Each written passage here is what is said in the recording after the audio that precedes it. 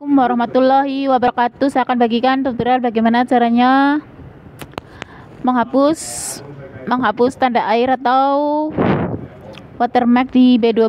Oke, caranya kita buka aplikasi B12. Nah, oke kita jepret dulu ya untuk sebagai contoh. Jepret. Nah, ini sudah jepret, kita save dulu. Nah, oke ini yang view-nya. Lihat, nah di sebelah kiri nih bawah ya ada tulisan B12 begitu.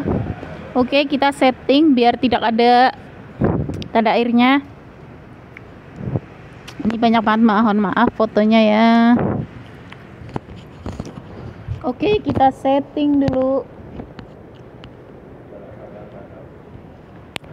Nah, setting di bagian sebelah kiri itu yang ada ada tanda titik tiganya, guys. Sebelah kiri ini.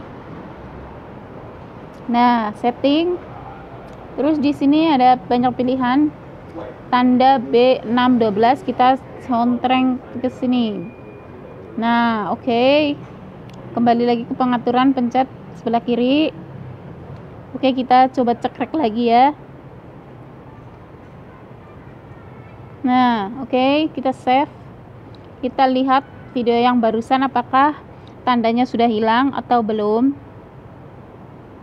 Ini yang Nah, sebelah kiri nggak ada apa-apa, sebelah kiri bagian bawah. Kita lihat yang tadi pertama sebelum diatur. Nah, ada kan? Ini yang sudah setelah diatur itu sudah nggak ada tanda airnya, oke? Okay? Jadi kita mau cekrek 10 kali kita pakai efek juga boleh. Ini udah nggak ada ininya.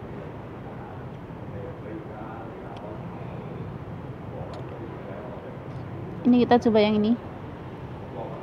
Gelap sekali happy new year.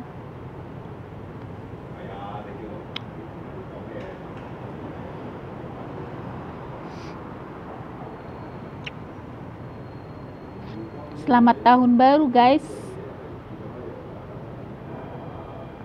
Nah, tanda airnya sudah nggak ada, bukan? Oke, sekian dan terima kasih. Wassalamualaikum warahmatullahi wabarakatuh. Semoga bermanfaat ya. Masya Allah, tabarakallah.